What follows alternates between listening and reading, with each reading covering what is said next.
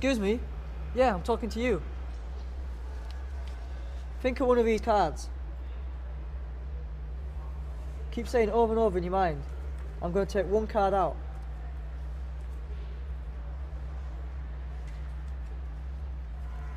Your card is now gone.